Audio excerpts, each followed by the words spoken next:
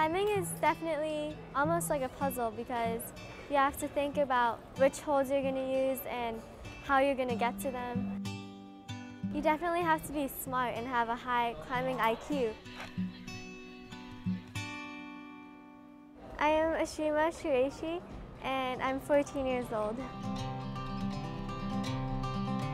Well, when I'm climbing, I try not to think too much or else I'm gonna fall.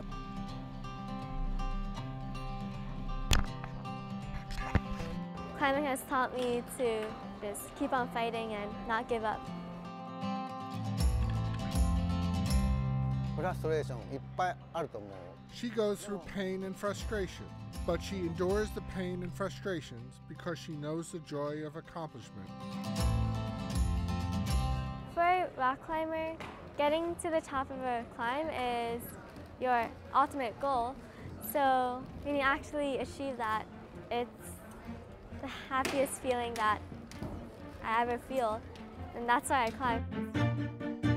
Ashima is a very good rock climber. She's outperforming most adults and she's still a child. It's, it's pretty crazy.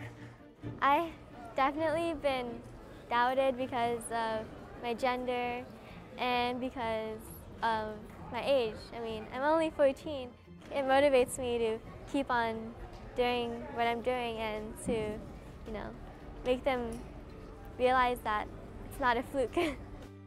She's probably the best female climber in the country. Girls in climbing have been pushing the sport for so long and I feel like eventually the girls will become maybe as good as the guys or even better.